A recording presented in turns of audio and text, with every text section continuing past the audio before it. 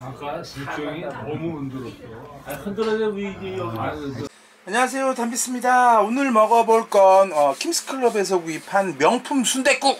깊고 집한 어, 깊고 진한 어, 깊고 진한 국물 맛. 대림선 사조에서 나온 제품 되겠습니다. 550g짜리 제품인데요.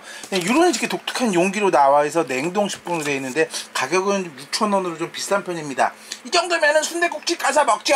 아, 물론 그렇긴 하죠. 자 근데 순댓국 좋아하고 한번 이렇게 먹어보면 어떨까 해서 구입해 봤는데 자연 해동민 냉장 해동을 건동하고요. 어, 뚝배기를 부은 후 뚜껑을 닫고 4분 끓이시고 소금, 후추 등을 첨가해서 뭔가 간이 안 돼 있나 보네요.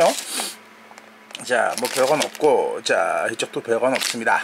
자, 나와라. 야, 야, 자, 이 뭐야? 자, 이렇게 통째로 얼려져 있네요. 안쪽에 들어가 있는 것 같은데, 보통 어, 대형마트에서 이렇게 순대국 파게 되면 이렇게 봉죠 비닐 해가지고 그 좀 파게 되는 경우 있는데 요거는 냉동인데도 이렇게 비싸? 얼마나 명품인지 모르겠는데 하여튼 해동해서 먹어보도록 하겠습니다. 시간 정도 자연 해동했는데도 많이 안 녹았네요. 자 이렇게 되어 있고 건더기는 좀 꽤 실한 것 같은 느낌인데요. 자 끓여서 먹어보도록 하겠습니다. 불 붙어라 빠이어 끓여갖고 왔습니다. 끓여갖고 왔는데요. 자, 순대 같은 경우에는 뭐 그냥 보통 순대가 아니고 좀 옛날 순대 그런 방식으로 되어 있고요. 이렇게 돼지 부속들 들어가 있는데 아무래도 그 순대집에서 파는 것보다 양은 뭐 이렇게 뭐 많은 정도까지는 아니고요. 뭐 들깨가루 같은 것도 좀 없고 뭐 그런 건 아쉽긴 하고 국물은 살짝 간이 되어 있는데 따로 소금 간 조금 넣어서 하시는 게 좋을 것 같더라고요. 아, 좀 싱겁게 나오는 정도?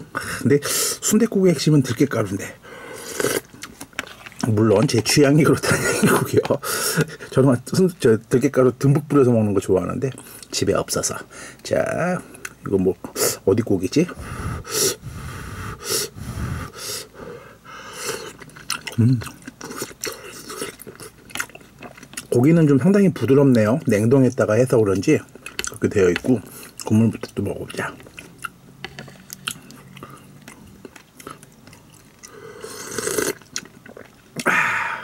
국물은 뭐 그냥 좀 들깨가루 같은 거 넣으면 약간 조금 진한 느낌이 나는데 요, 요거 자체만 먹으니까 뭐 그냥 적당한 정도인 것 같고 자 순대 같은 거 아까 거랑 조금 다른 같은 건가?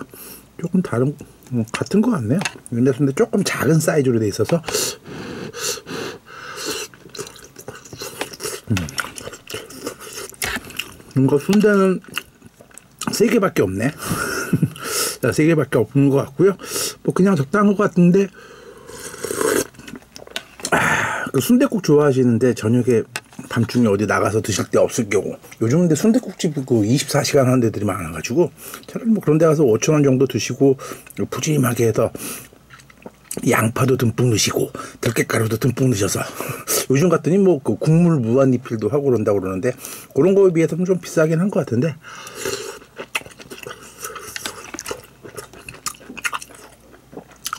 재료들은 꽤 부드럽게 나온 것 같네요. 음. 자, 하여튼 게 드시는 분, 뭐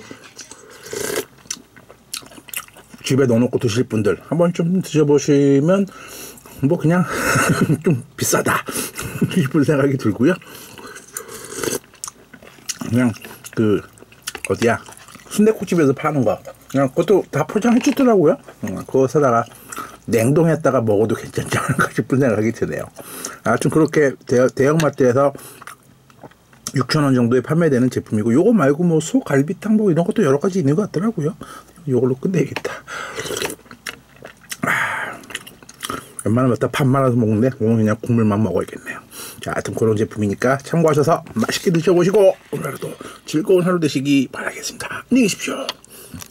안녕하십니까. 그... 구독하고 추천해주세요. 여기까지.